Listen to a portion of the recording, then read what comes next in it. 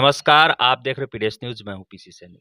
दोस्तों, आज हम हमारे चैनल के माध्यम से आपको एक ऐसे इंसान से रूबरू करवाने जा रहे हैं, जिन्होंने अपनी मेहनत में कई अचीवमेंट प्राप्त किए हैं। नाम है महेश फौजी, कल्याणपुरा थोई निवासी हैं। पहले देश की सेवा की, अब करेंगे किसानों की सेवा। हाल ही में इनका सिलेक्शन हुआ है कृषि पर्यवेक्षक में, तो उसके उसके लिए ढेर सारी आपको शुभकामनाएँ। बहुत बहुत बधाई हो आपको, डबल अचीवमेंट प्राप्त किया।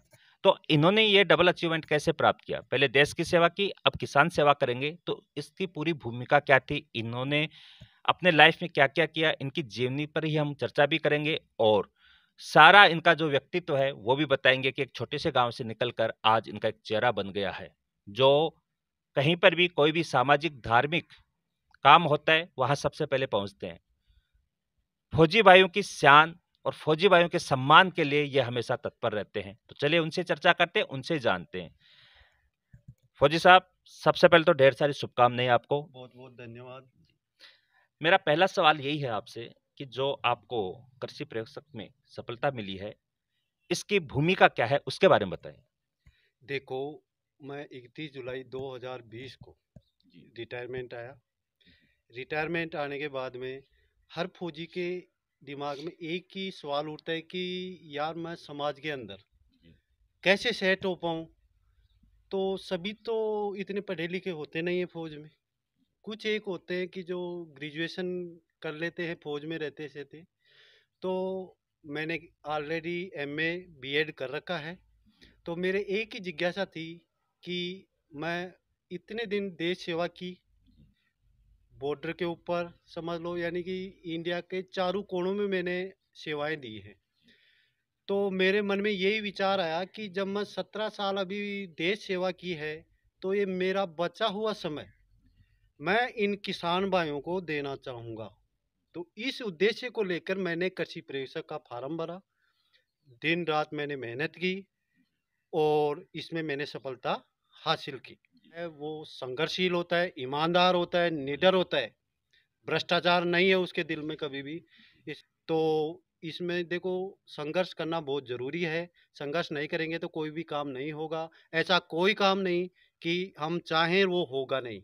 अगर आप सही हो अपनी जगह तो ऐसा दुनिया में कोई काम नहीं कि आप उसको नहीं कर सकते। क्योंकि फौजी बंदा इसी सिद्धांत से जीता है और आगे भी ऐसे ही जीते रहेंगे।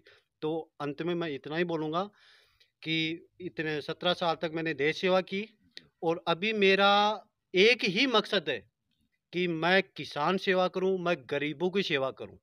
मैं दिखावटी काम नहीं करता हूँ, मैं ग्राउंड में करता हूँ तो अब मैं किसानों की सेवा करूँगा, जितना मेरा जीवन बचा हुआ है।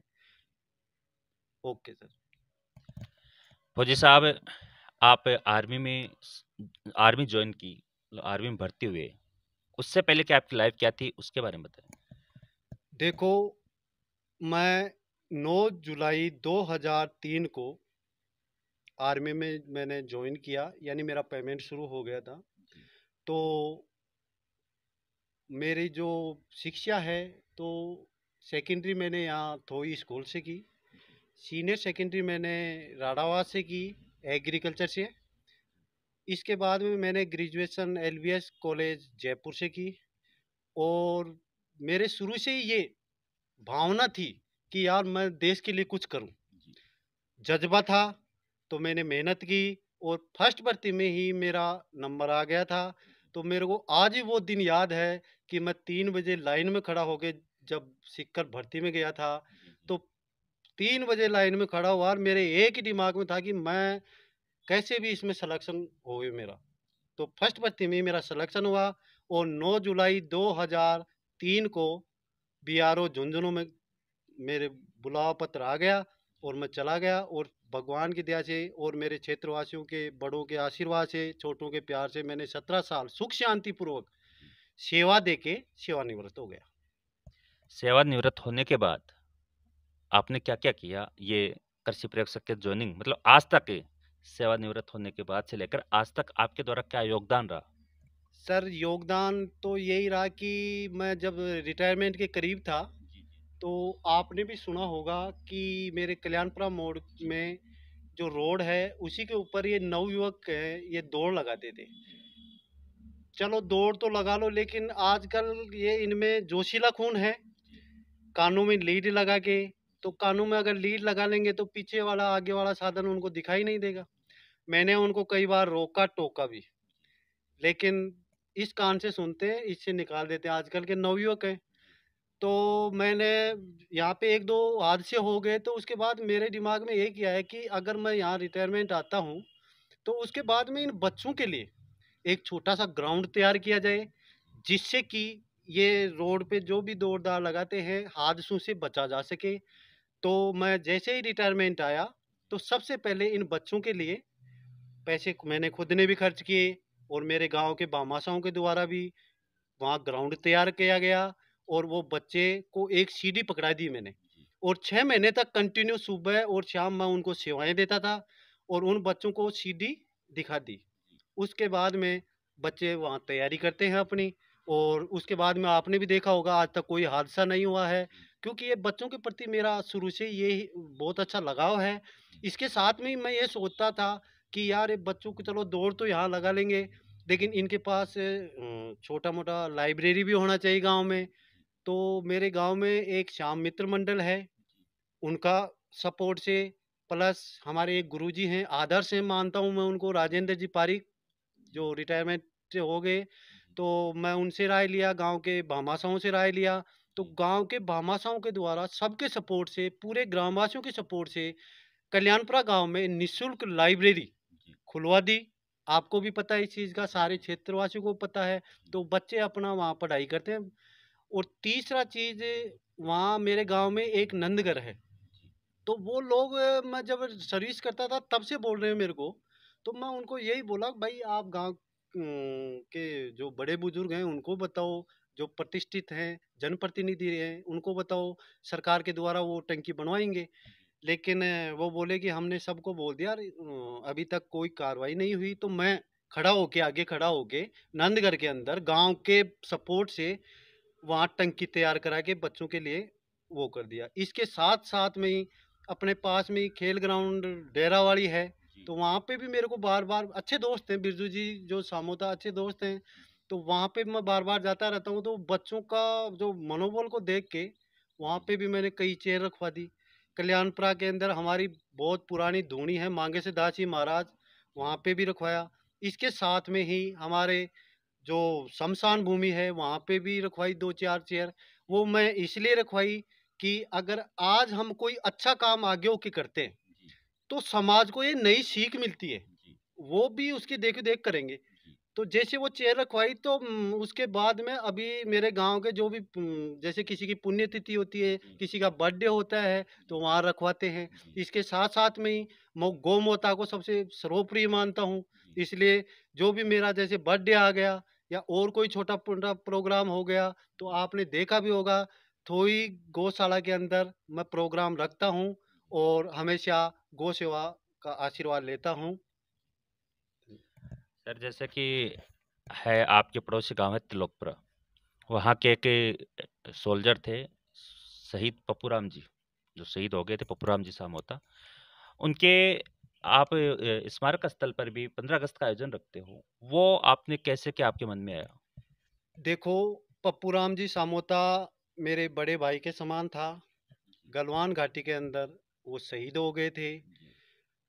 एक पप्पूराम सामोता जी नहीं सीकर ज़िले के अंदर कोई भी जवान अगर शहीद हो जाता है तो मैं वहाँ पहुँचता हूँ उनका सुख दुख में साथ देता हूँ और रही बात ये अपने नज़दीक गाँव के हैं तो 15 अगस्त छब्बीस जनवरी को उनको इसलिए याद किया जाता है कि इन्होंने अपने जीवन में सारा संघर्ष देश सेवा के लिए किया तो मैं इनको फौजी को सबसे सर्वप्रिय मानता हूँ। जो देश के लिए शहीद होता है, उनको सबसे सर्वप्रिय मानता हूँ और मैं मेरे सारे काम छोड़ के उनके काम में लगता हूँ। इसलिए पंद्रह अगस्त छब्बीस जनवरी को उनको याद किया जाता है, जिससे कि उनकी आत्मा को शांति मिल सके और एक अकेले पप्पू राम जी नहीं है, मैं सीकर में देख लो, चाहे अपने श्री माधोपुर तहसील में देख लो, कोई भी जवान शहीद होता है तो मैं वहाँ पक्का जाता हूँ और उनका नमन करता हूँ, उनको आदर्श मानता हूँ। तो सर, आपकी ये सेवा जो आप, जैसे आपने बताया कि कोई भी इवेंट आपको मिलता है, कोई भी मौका मिलता है तो आप कुछ ना कुछ करते हो। तो अब तो आप कृषि प्रयोगशक बन गए हो और जल्दी ही आपकी पोस्टिंग हो जाएगी। उसके बाद भी आपका यही रहेगा या फिर कुछ चेंजिंग देखने को मिलेगी आपको? देखो समाज सेवा मेरा जब तक मेरे सांस है तब तक मैं समाज सेवा करूँगा। गरीबों का किसानों का जवानों का हमेशा उनके संघर्षों में साथ दूँगा और उनका साथ निभाऊँगा। जब तक मेरे सांस रहेगी तब तक मैं उनका साथ दूँगा। ये नौकरी भी करूँगा ये नौकरी करते करते ये भी एक सेवा ही है। भाई ये भी एक सेवा ही है कि भाई किसान भाई हैं अपने तो इनके पास इतनी आमदनी नहीं होती है। तो उनको बताऊँगा उनको जागरूक करूँगा सरकार के द्वारा जो सुविधाएँ दी जाती हैं वो उन तक पहुंचाऊँगा। जिनको अथराइज है जो एक्चुअली किसान हैं सरकार के द्वारा सुविधाएँ दी जा रही हैं वो पूरी सुविधाएँ उनको मैं दूँगा। चाहे वो बीज संबंधी देख लो दवाई संबंधी देख लो प्लस उनको बीच बीच में बताया भी जाएगा कि भाई ये जैसे मिट्टी है, इसके अंदर कौन सा खाद कौन सा बीज जिससे कि वो उनकी आमदनी बढ़े। मैं लास्ट तक समाज सेवा करूँगा। शुक्रिया सर। तो जैसे कि महेश जी फौजी जो पहले देश सेवा की, अब संपूर्ण रूप से किसान सेवा करेंगे। इन्होंने बताया इनका पास्ट क्या था, प्रेजेंट क्या है और आने वाला फ्यूचर क्या होगा। जब भी मौका मिला, इन्होंने हमेशा देश की सेवा की। और अब मौका मिला है किसान सेवा की, उसमें भी आगे हैं। इसके अलावा समाज को लेकर भी इन्होंने बहुत अच्छे कार्य किए गाँव में लाइब्रेरी खुलवाई, प्रेरित किया गाँव वालों को। नंद घर की बात की, वहाँ पे भी इन्होंने पानी की व्यवस्था करवाई और वहाँ पे पेड़ पौधे लगाए। इसके अलावा बच्चों के लिए खेल ग्राउंड करवाया, जिससे कि कोई हाथ से ना हो। अब कलानपुरा गाँव के जो नवयुवक हैं, वो रोड के ऊपर नहीं जाते, सड़क के ऊपर नहीं जाते, वो वहीं पे करते हैं। इसके अलावा खेल गाँव है जो, वहाँ पर भी नवयुवक जो तैयारी करते हैं, वहाँ पर भी हमेशा योगदान करते रहते हैं।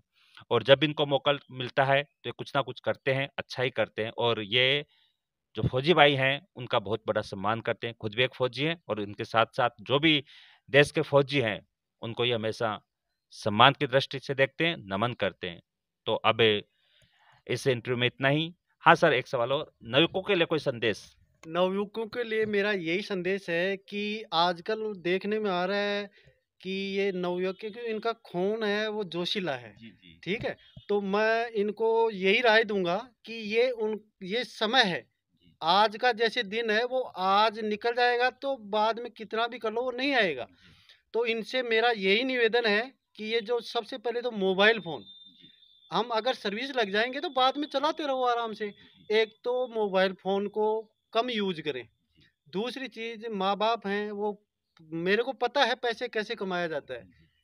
एक एक रुपए का पता है भाई किसान का बेटा है तो उसका पिताजी वो परिवार वाले कितना मेहनत करते हैं कैसे कैसे पढ़ाते हैं उनको तो उनको ध्यान में रखते हुए ये नवयुवकों को सोचना चाहिए कि मेरे माँ बाप इतनी मेहनत कर रहे हैं तो मेरे को भी कुछ मेहनत करना है।